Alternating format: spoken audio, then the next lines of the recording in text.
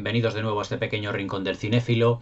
Y como habéis querido vosotros, precisamente en la, la, encuesta que hice hace muy poquitos días, ahora una semana aproximadamente, sobre películas de terror, ya que me estáis poniendo en los comentarios y en los correos por qué no comento más películas de terror, madre mía, eh, hay poca originalidad en el tema, porque yo comento muchas películas de terror, pero no todo tienen por qué ser películas de terror, ¿sabéis? O sea, hay más géneros, está la ciencia ficción, está el género romántico, está el género histórico, están las películas eh, bélicas, están las películas cómicas, eh, están, o sea, no todos son terror y superhéroes, para que me hagáis, no, no os lo toméis a mal. Pero no todo en este mundo y no todo en YouTube van a ser superhéroes y películas de terror constantemente. Pero ante la amalgama de, peticiones que habéis puesto, pues eh, evidentemente hice un listado hace poco de cinco películas de cuál era la que yo la que, la que iba a comentar, o por lo menos la primera que iba a comentar, y la que recibiese más votos. Y ha ganado precisamente Poltergeist de 1982 del director Toby Hooper. Y ahora diré por qué precisamente. Antes de entrar en materia, quería deciros o indicaros eh, para los que no sepáis un poco, estéis familiarizados con el tema, ¿qué es realmente un poltergeist? Poltergeist es una palabra alemana, alemana que significa duende burlón. Es decir, es una palabra que dieron una serie de parapsicólogos alemanes eh, para nombrar pues, todos aquellos acontecimientos que se pueden, eh, pueden ocurrir en una casa, en un castillo, en un, en chalet, en una vivienda, en un piso, en un apartamento, en cualquier parte, precisamente debido a unos hechos que supuestamente no tienen una explicación dentro de la racionalidad o dentro de lo científicamente razonable que estamos nosotros acostumbrados. Es decir, la palabra poltergeist, que significa duende burlón, es como una especie como de espectro, de fantasma, o, de, o como lo querramos, como lo queramos llamar, eh, que a lo mejor cambia los objetos eh, por el espacio, los mueve, eh, produce sonidos, por ejemplo así, sonidos en una puerta, sonidos, es decir, ¿cuántas veces no habremos visto muchísimos programas de televisión donde una serie de, supuestos parapsicólogos eh, o de personas que se dedican a ello, que se hacen llamar expertos, pero que no saben de lo que es el tema, porque evidentemente hoy la parapsicología como ciencia no nos puede dar una respuesta científica a lo que es un poltergeist. Por lo tanto, yo no puedo decir que una persona es experta en algo cuando no es capaz precisamente eh, de demostrar científicamente si eso existe o no existe.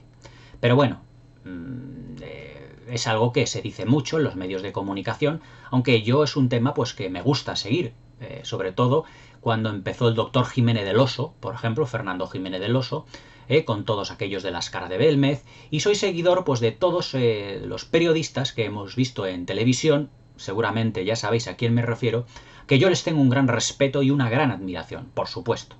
Pero claro, tampoco puedo decir que sea un experto en algo cuando no es capaz de demostrar científicamente qué es lo que es ese fenómeno. Después de esto, para hablaros de lo que es la película Poltergeist, os voy a hablar de dos cosas en general, eh, de lo que es la película y lo que es la maldición o supuesta maldición de la película Poltergeist, que todo realmente son leyendas urbanas.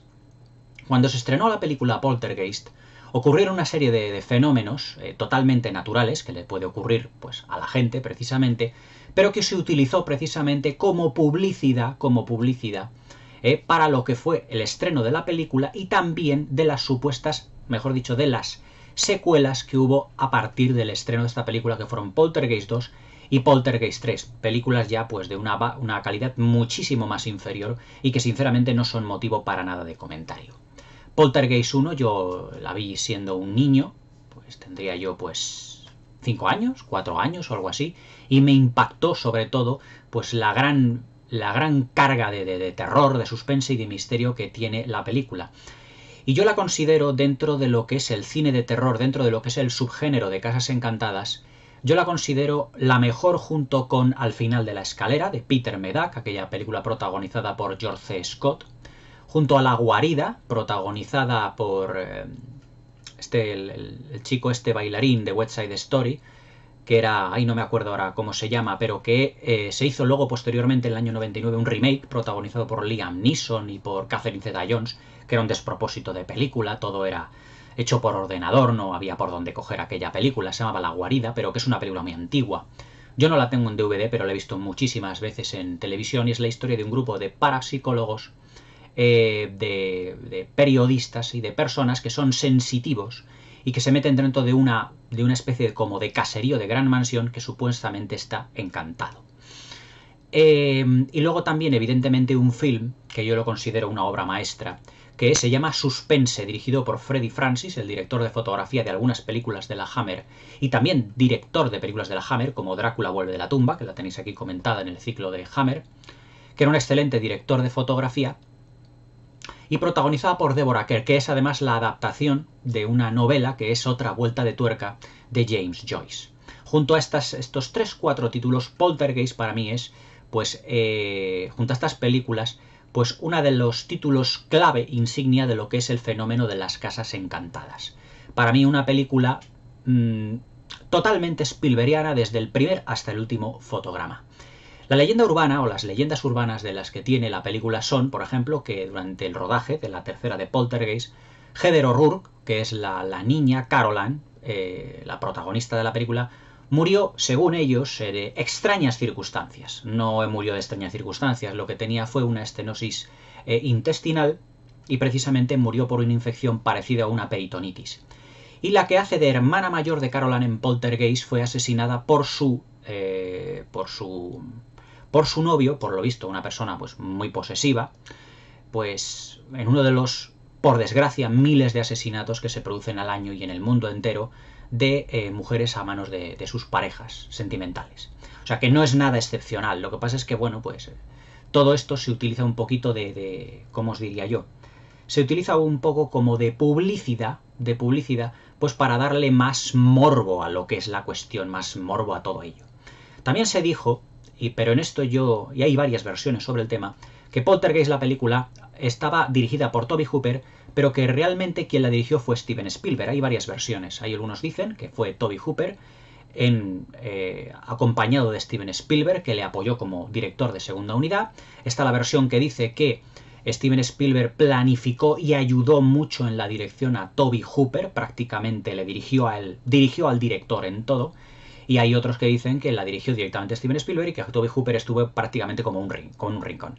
Yo soy partidario, después de ver la película varias veces, de la segunda versión, es decir, que Toby Hooper es el director, eh, digamos, titular, pero que Steven Spielberg le apoyó y le ayudó muchísimo, ya no solo en labores de producción, sino en labores de planificación, de estudio de secuencias, como ahora os lo comentaré, porque hay muchísimas secuencias que son clavadas a títulos anteriores de Steven Spielberg en el manejo del suspense, de la ciencia ficción, en el uso de la cámara, como puedan ser El Diablo sobre Ruedas y sobre todo encuentros en la tercera fase. Poltergeist, la película, pues nos narra la historia de la familia Freeling, si no mal no recuerdo, el padre, la madre y tres hijos, dos niñas y un niño. Eh, el padre, pues, eh, interpretado por el, actor Craig T. Nelson, un director, mejor dicho, un actor muy televisivo en Estados Unidos, que aquí en España no lo hemos visto en muchísimas producciones, y por Joveth Williams, que fue la primera, se puede decir, mm, sin temor a equivocarse, la película que lanzó a Joveth Williams al estrellato. A Joveth Williams ya la habíamos visto anteriormente en una película con Gene Wilder y con Richard Pryor llamada Locos de Remate, que es la mujer del abogado de estos dos personajes. Si no ha visto la película Locos de Remate, ya la comentaré. Es una gran comedia de todas las que hacía, que hacía Gene Wilder.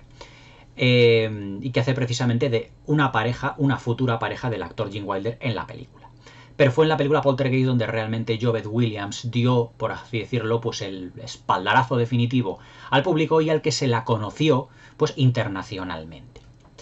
Em, la película nos narra una serie de acontecimientos en el que el padre, Craig T. Nelson, interpretado por Craig T. Nelson, lo que hace es trabajar eh, como en una empresa constructora que lo que hacen es querer edificar una serie de nuevas parcelas, eh, nuevas, mejor dicho, nuevas urbanizaciones, chalecitos, muy parecidos a los que vimos en la película de ET de Steven Spielberg. Y lo que ocurre es que hay un cementerio que precisamente está, digamos, en la zona donde ellos quieren construir las urbanizaciones. Y entonces lo que hacen es arrasar el cementerio, arrasar por completo el cementerio y construirlo directamente porque ese cementerio era un cementerio ya muy antiguo. Lo que ocurre es que, claro, según va desarrollándose la película, lo que, lo que nos damos cuenta es que la empresa constructora no se llevó el, cementerio, sino que solo trasladaron las lápidas. Entonces, cuando los, los constructores empiezan a construir la urbanización, se supone que los espíritus, los espectros de todos aquellos muertos, se rebelan precisamente ¿eh? en contra del constructor, que es Craig T. Nelson, y lo que hacen precisamente pues es, como, os diría yo, vengarse de él poseyendo su casa. Eso es lo que es, eh, a grosso modo, la película. Entonces, la película tiene un seguimiento en lo que todo fenómeno de poltergeist eh, documentado por parapsicólogos hay.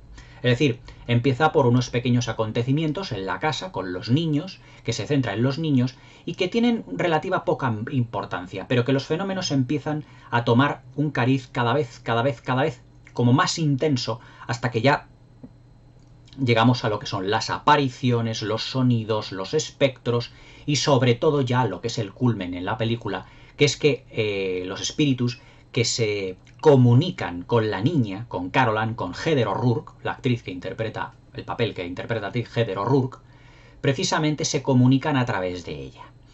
¿Eh? Y para poder hacer el mayor daño posible a sus padres, a su familia, lo que hacen es capturarla y llevarla precisamente al más allá. Y eso es una de las secuencias que te pone realmente los pelos de punta en toda la película. Eh, todo lo que es el desarrollo de la película tiene un ritmo muy exacerbado porque va increciendo de manera exponencial. Es decir, los acontecimientos parapsicológicos se van sucediendo además con más virulencia.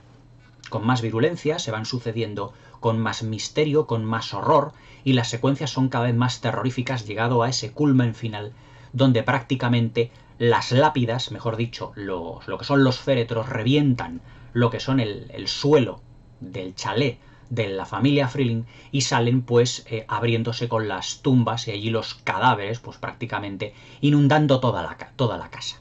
Hay una secuencia que realmente terrorífica en el que se abre un gran socavón, un gran socavón delante de lo que es el chalet de los Freeling, de la familia protagonista, y Joveth Williams resbala, se cae ese socavón y empiezan los esqueletos de los muertos como a inquerer como engullirla. Hay una versión, evidentemente, que es muy muy de leyenda urbana, pero que es completamente absurdo. Completamente absurdo. Yo aquí en YouTube, YouTube hará un año y pico, dos años, no, más siento una pequeña discusión con otra persona diciendo que, que, que, sí, efectivamente, que se habían utilizado cadáveres y esqueletos auténticos para esa, para esa secuencia. Vamos a ver Almas de Cántaro. ¿Cómo Steven Spielberg, un director tan meticuloso, que estaba en el año 81-82, empezando prácticamente en Hollywood, es decir, Estamos hablando hace casi 40 años. ¿Cómo va a arriesgarse a meter a, uno de sus a una de las actrices, o actores, o quien sea, en un pozo, o mejor dicho, en una piscina llena de barrio, de barro, mejor dicho, con cadáveres putrefactos auténticos? O sea, eso es completamente absurdo.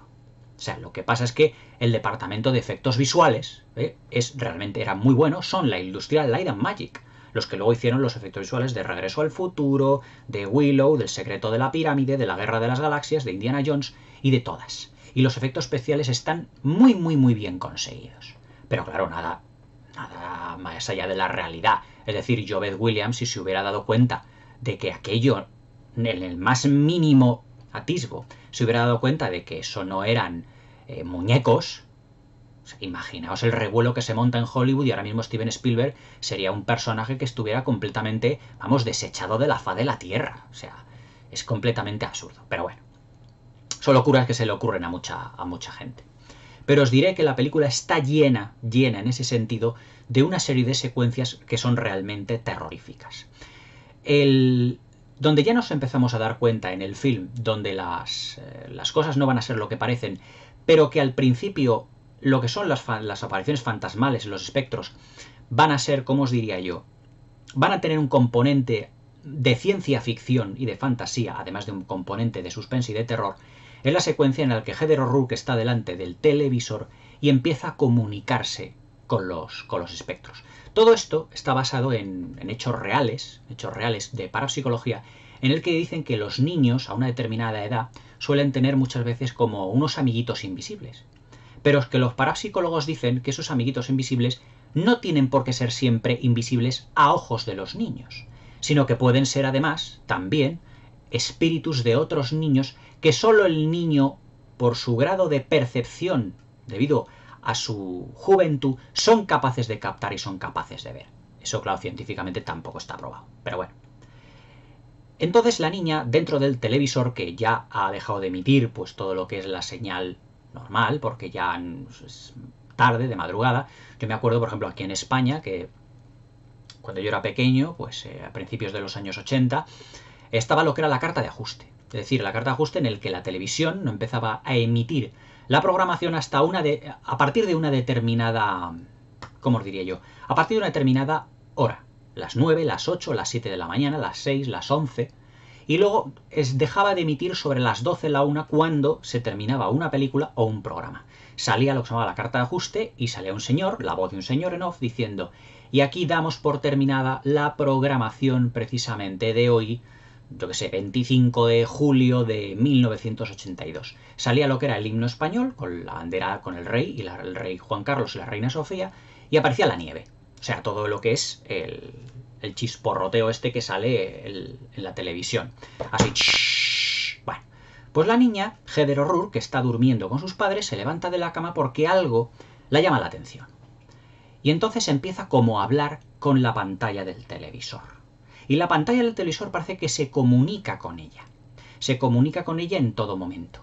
Hasta que Heather O'Rourke coge un dedo, pone la mano en la pantalla del televisor y sale una mano espectral para tocarla.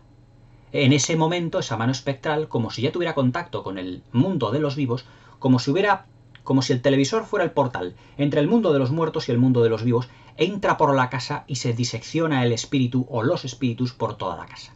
Y es a partir de ese momento cuando empiezan todos los acontecimientos.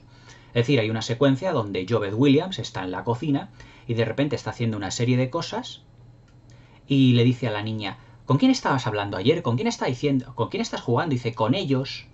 dice, ¿quiénes son ellos, hija? Y él cree, pues efectivamente, que son amiguitos imaginarios. La cámara se gira, empieza a hacer otras cosas allí en la, cocina, con unos platos, y cuando se vuelve a girar precisamente para ver a Carolana, su hija, ve que todas las sillas están amontonadas de un modo completamente absurdo. Claro, se queda y le dice a la niña, ¿quién ha hecho esto? ¿Tus amigos? Y dice la niña, ajá, como diciendo, ya están aquí. Lo que le dijo anteriormente, ya están aquí, como diciendo, ya han pasado del mundo de los vivos al mundo del, mundo de los muertos al mundo de los vivos. Y ahí ya es cuando ya se desencadenan en la película un montón de, de elementos paranormales que llegan al, matrimonio de los, de los Freeling pues a tomar conciencia de que tienen que coger la ayuda de, un parapsicólogo porque algo está ocurriendo en su casa. Entonces la parapsicóloga Beatriz Strage, una actriz del Hollywood clásico, pero no digamos de primera fila, segunda, segunda o tercera fila, pues es una parapsicóloga que llega a la casa de los Freeling y empieza a montar un montón de cámaras por todas partes para ver si graba psicofonías, todo. Pero también el, mundo de los espectros también es consciente de que en esa casa ya no están solo los Freeling. Y que también tienen que, evidentemente, tienen que contactar con los demás de alguna manera. Entonces, hay un día, hay una noche en el que todos los personajes, o sea, todo lo que es la familia, todo lo que son los, los como te diría, los parapsicólogos, están en el salón de la casa. Carolan, evidentemente uno de los momentos más impresionantes de la película, ha desaparecido. O sea, a la niña es como si las hubieran raptado, como si lo hubiera, hubieran, como si la hubiera tragado la tierra. Entonces, claro, evidentemente la madre, Joved Williams, está realmente tan asustada que necesita creer en algo. Y entonces utilizan todas las cámaras para intentar captar todo el movimiento de los espectros. Hay uno de los momentos en el que en el salón hay una escalera, una escalera que baja al, sube y baja al primer piso, y de esa escalera se empieza a remolinar como una especie de neblina de neblina. Y entonces las cámaras todas empiezan, empiezan todas a eh, los flashes, eh, todas se dirigen hacia lo que detectan que hay movimiento. Y entonces todos, mirando esa especie como, como de espectro, como de fantasma, que se está materializando en las escaleras y que empiezan a bajar lentamente. claro, todos se quedan completamente obnubilados, porque son como luces que se van moviendo de un lado para otro. Evidentemente muy del componente fantástico, estamos hablando de una película producida por Steven Spielberg. Pero claro, la parapsicóloga no es suficiente, o sea, no le puede dar suficiente información para recuperar a su hija. Y entonces cuando recurren eh, a otra parapsicóloga, pero es más una medium, que es la actriz, esta bajita, no sé si ya, no sé si seguirá viviendo o no, que se llama Zelda Rubinstein, que es muy bajita, muy pequeñita, pero muy, muy dicharachera. Que ella empieza como, cuando llega a la casa de los Freeling, a tocar las paredes, a investigar, a pensar, a decir, eh, y dice a la madre, no se preocupe porque su hija está viva y está en esta casa. Lo que provoca evidentemente el llanto de Joveth Williams. Es decir, ¿cómo vamos a recuperar a mi hija? Y dice, ahora mismo. Dice, ahora mismo, ahora mismo. Dice, pero eso, pero no se cree usted que va a ser fácil. Porque va a tener que utilizar todo el instinto maternal y todo el amor que usted tiene para luchar en contra de todo el odio que tienen estos espíritus. Es decir, es una lucha como de poder a poder de sentimientos. Lo que, claro, evidentemente aquí ya desata el componente fantástico de la película. Completamente. Es decir, se, sube al piso de arriba Zelda Rubinstein y con una especie como de pelota de, de, cuerda, ¿eh? la va metiendo por un sitio así muy fantasmagórico y sale por el piso de abajo y dicen, esto es increíble, ¿cómo puede ser posible? Y entonces utiliza una pelota de, de tenis, la lanza y en el piso de abajo la recuperan.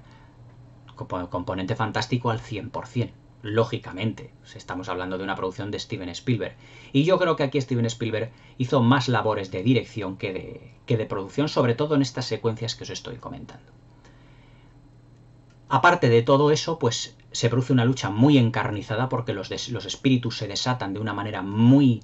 con mucha virulencia, cráneos gigantes, movimientos de, de, todos los objetos de la casa, eh, a los niños les atacan, por ejemplo, un árbol que hay, un, que hay fuera precisamente de la casa que tiene un aspecto fantasmagórico. Eso sucede antes de los acontecimientos que estoy narrando.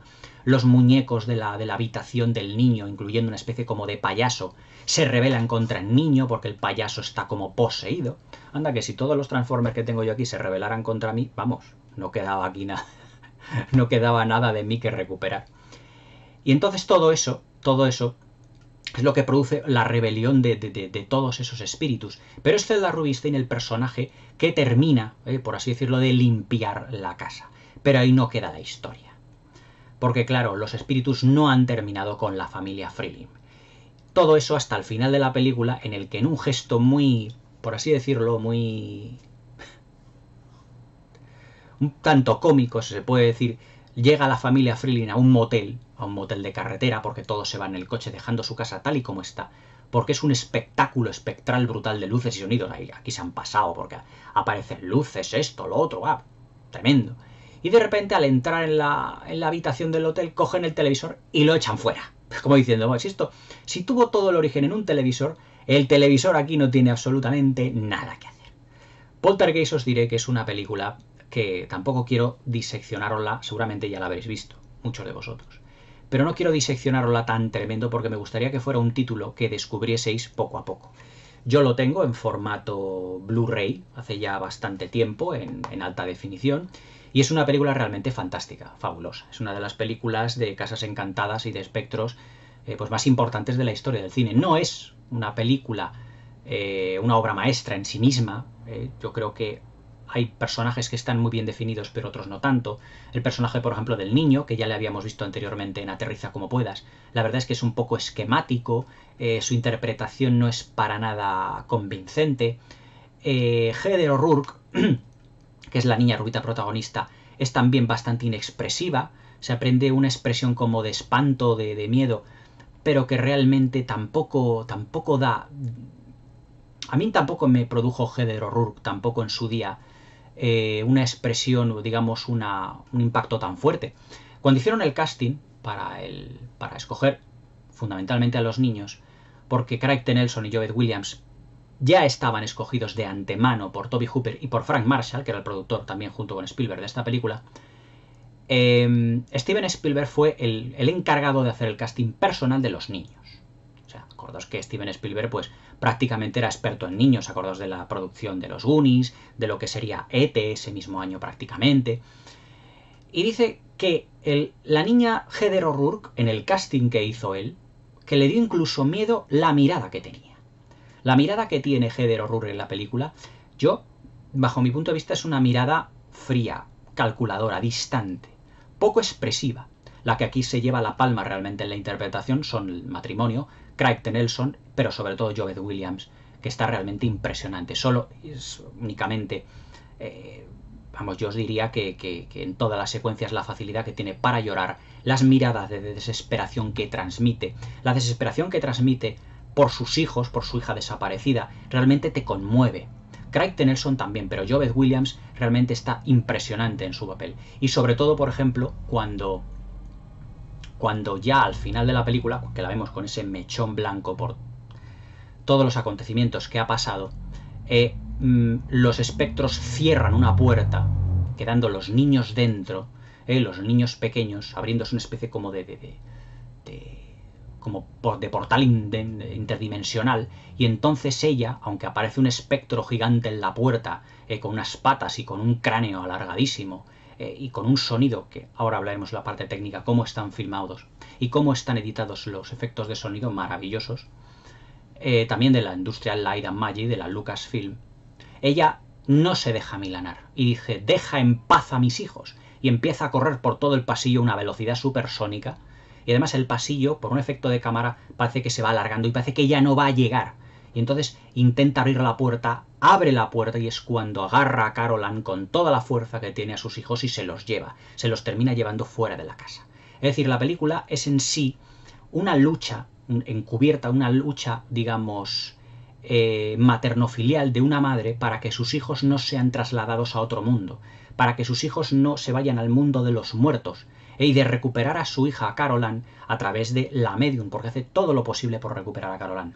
Hay una secuencia, por ejemplo, que a mí me puso, que es la, secuencia que más me pone los pelos de punta en la película, que es cuando Zelda Rubinstein le dice a la madre, a Joved Williams, dice, ahora intente hablar con su hija, llámela. Y le dice, Carolan, Carolan, ¿estás ahí? Y dice, no me, no me responde. Y dice Zelda Rubinstein, está allí. Pero los espectros que están con ella no la dejan. Dice, enfádate con ella. Enfádate con ella, le dice al padre. Carolán, dice, ahora mismo háblame. Y es cuando se oye la voz de la niña como a través de susurros y a través como, como de un viento ululante. O sea, se oye la voz de la niña diciendo, mamá, estoy aquí, no, no te veo, ¿dónde estás? Pero claro, se oye con un susurro ululante que son las voces de los espectros realmente impresionante. Esa secuencia, que es como si fuera una psicofonía, me puso realmente los pelos de punta. Para mí, la verdad es que la película Poltergeist es una película que argumentalmente está llena de momentos tremendos, terroríficos, sobre todo, por ejemplo, cuando los espectros empiezan a tener esa especie como de baile de danza en todo lo que es la casa, van bajando las escaleras y dice Beatriz Strange, la parapsicóloga que está allí, dice, están sufriendo. Son almas que no conocen todavía el descanso. Están sufriendo realmente y aparecen allí como una especie como un hombre de un minero, como de un indio, como un señor con un gorro, sí, como si fueran de otra, de otra época, completamente de otra, de otra época. Todas esas secuencias son espectaculares. Técnicamente os puedo decir que yo me voy a basar, y tengo la certeza de que Steven Spielberg estuvo detrás de muchas de las de la planificación de muchas de las secuencias de la película, porque por ejemplo la secuencia en la que los espectros o que ese espectro que os he dicho eh, que se va materializando en las escaleras y que las cámaras lo van filmando y cómo es la reacción de las personas de la familia y de los parapsicólogos que lo están viendo, es que es una escena muy parecida a cuando en Encuentros en la tercera fase sale la nave nodriza y todas las cámaras empiezan a enfocar la nave nodriza y se quedan todos los actores, ya sabéis, Richard Dreyfus, Lance Henriksen, este, François Truffaut, eh, completamente anonadados viendo pues la magnificencia de la, de, la, de la nave nodriza de los extraterrestres. Es que esa secuencia es clavada. Es una planificación exactamente igual. O si o Tobe Hooper vio Encuentros en la tercera fase y se basó para hacerlo, o fue Steven Spielberg quien, basándose en una planificación, es decir, autoplagiándose a sí mismo, utilizó ese mismo efecto visual ¿eh? ¿Eh? para dar más peso dramático a lo, que es la, a lo que es la secuencia, totalmente. Luego, por ejemplo, también lo que es la filmación de todo lo que es eh, esa familia de clase media en ese barrio residencial, tan parecido a ET y con una iluminación, una fotografía que son calcadas a ET, calcadas. Es decir, el mismo tipo de película, el mismo tipo de iluminación, la misma saturación del color, la misma paleta de colores. Es que todo es tan parecido a ET que dices, es que esto Toby Hooper no solo lo ha tenido que filmar, sino que te ha tenido que apoyarse en alguien como Spielberg para poder llevar esto a cabo. Y claro, la influencia de Steven Spielberg en esta película es total y absoluta. Por mucho que se diga que no. Toby Hooper, pues ya le conocemos todos, es el director de La Matanza de Texas, de Life Force, de Fuerza Vital, de La Casa de los Horrores, todas películas de cine fantástico. Pero todas ellas eh, teniendo un toque como semidocumental. Es decir, La Matanza de Texas, pues uno de los valores que tiene, aquí tenéis la crítica que hice hace ya mucho tiempo, es que precisamente es una película eh, que es tan terrorífica porque parece que te estás creyendo lo que estás viendo porque está rodado eh, con muy bajo presupuesto, actores amateurs, eh, una fotografía muy desenfocada, con unos tonos y una saturación de color muy bajo, con la fotografía muy neblinosa, muy típico de los 70, pero que realmente parece un documental, parece auténtico. Con La Casa de los Horrores ocurre prácticamente lo mismo, aquella película de unos chicos que se van a un parque de atracciones y se meten dentro eh, de lo que es la atracción de la Casa de los Horrores. Eh, una de las protagonistas era Elizabeth Ber una de las protagonistas de Amadeus, que ya os sabe de poco, hace relativamente poco de ello. Es decir, es un director que, si comparas Poltergeist con otras películas anteriores, la evolución que hay en narrativa, en visual, en calidad visual, en el guion, en todo eso, es que es completamente distinto al resto de películas de su filmografía. Por eso yo me baso en el que Steven Spielberg tuvo que poner mucho de su mano eh, para decir a Toby Hooper, me gusta mucho el trabajo que haces y te lo voy a respetar. Pero yo también te voy a planificar algunas de las secuencias eh, de todo esto o te voy a dejar que te inspires en mi trabajo. Es decir, tuvo mucha presencia Steven Spielberg en el rodaje de esta película, pero vamos, pero de todas, todas. Estoy completamente seguro porque hay secuencias enteras que parecen filmadas precisamente por Steven Spielberg y no por Toby Hooper. Aún así, la verdad es que la película, a mi modo de ver, a mi modo de ver, es como muy Spielbergiana. Para Steven Spielberg era prácticamente la primera película de terror que producía, no que dirigía, ya había tenido El Diablo sobre Ruedas y Tiburón. Un tipo de terror diferente, El Diablo sobre Ruedas es más suspense, Tiburón también es este terror pero es de otra naturaleza. Pero en lo que es el terror parapsicológico, Steven Spielberg no se había documentado demasiado. Pero después de encuentros en la tercera fase, le picó un poco el gusanillo de todo esto y escribió el guion precisamente él de Poltergeist. Es decir, que él es el escritor, el productor y seguramente también, en muchos casos, eh, ayudante de dirección o director, en, la mayoría de los, casos. Es una película que yo diría que es muy Spielbergiana, en el sentido de que los niños también tienen mucho protagonismo. Es decir, las mejores interpretaciones son las de Jovet Williams y Craig. Nelson.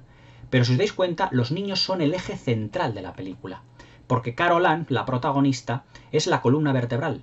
Es decir, a través de ella es a lo que se mueven los espíritus. Por, es el contacto que los espíritus tienen para llegar al exterior. También se ceban con el niño, acordaos cuando el árbol intenta atrapar al niño prácticamente engulléndole.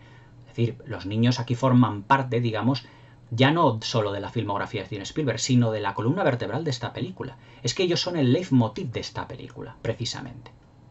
Aunque yo os digo que la calidad de las interpretaciones son de Joed Williams y de Craig T. Nelson fundamentalmente. Mm, Poltergeist también es una película que tuvo además muchísimas imitaciones, además de dos secuelas de una calidad bastante inferior, tuvo además muchas imitaciones a nivel cinematográfico. Es decir, las películas de Casas Encantadas se multiplicaron, se multiplicaron, y de terror se multiplicaron en los años 80. Eh, y en realidad las cintas de terror, todas ellas muy viscerales, vino lo que fue el, gore y todo eso. Y Poltergeist no es una película gore, pero tiene elementos que luego vimos en, en la película los cazafantasmas, que es el ectoplasma, si os dais cuenta. Cuando Zelda Rubinstein y Craig T. Nelson, Jovet Williams utilizan la cuerda esa donde bajan ellos precisamente del mundo de los muertos que viene atrapada eh, Carolan, que viene abrazada a su madre, precisamente están cubiertas de qué, de qué están cubiertas. Están cubiertas de ectoplasma. Es decir, no es ese moco que tuvo Bill Murray en los fantasmas, pero es una especie como de ectoplasma extraño. ¿Eh? como si viniese de otra, de otra dimensión. Es decir, que utiliza ya elementos que luego en otras películas se reciclaron y, o modificaron, ¿eh? precisamente aprovechando el éxito de Poltergeist y todos los hallazgos visuales que tuvo esta película. Para mí Poltergeist es eh, pues una de las obras cumbre precisamente del terror del cine de los 80. Muchas de las películas, vamos, muchas de las películas que se hicieron la imitaron mil veces. Películas de fantasmas, de espectros, pero que luego no tuvieron evidentemente la calidad del original. Aquí estaba detrás evidentemente un genio como Steven Spielberg. Y todo lo que siempre Steven Spielberg está detrás de las cámaras, siempre o casi siempre pues suele ser sinónimo de calidad. En este caso lo tiene. Y Poltergeist para mí es una pequeña joya del cine de terror de los 80 y una de las películas de parapsicología más importantes o de fenómenos parapsicólogos más importantes de la historia del cine, sin duda. Yo estaba seguro que cuando hice la encuesta, yo esto, esta, esta película seguro que me la van a, me la van a pedir más en, en abundancia porque es la más conocida. Pero también os puedo decir que It por ejemplo, la versión de 2017, el remake que salió hace relativamente poco, es una película realmente excelente. Lo tengo también que comentar. Como todas también las que como todas las que comentaré, las que vienen en la lista. Suspense es otra maravilla. Suspense es mejor película que esta, todo hay que decirlo. Bastante mejor. No tiene un componente fantástico, de fantasía y de ciencia ficción como esta, sino que es el componente puramente parapsicológico, única y exclusivamente parapsicológico. Es más pura, en el sentido más, eh, más primigenio de la, de, la, palabra, pero hay que reconocer y darle el valor a Poltergeist el que tiene. La verdad, una película para mí muy notable dentro de la filmografía de Toby Hooper y dentro de la filmografía del cine de fantástico de los años 80. Espero que os haya gustado la crítica. Yo, si tuviera que darle una puntuación, la daba un 8, una película bastante redonda aunque luego tiene aspectos como cierta frialdad de algunos personajes, otros que no están tan desarrollados como algunos, las interpretaciones en algunas no están tan conseguidas, y a lo mejor cierta celeridad en la presentación de los personajes y en el comienzo de los fenómenos parapsicológicos. Pero yo eso es una cosa que, bueno, lo está, digamos que resta pocos puntos. La película la verdad es que tiene una gran calidad. Poltergeist, un clásico del cine de terror de los años 80. Espero que os guste, al igual que la crítica. Espero que os suscribáis al canal y que le deis a la campanilla para que no os perdáis ninguno de mis nuevos vídeos. Ya nos vemos para otro especial de críticas cinéfilas. Hasta mañana.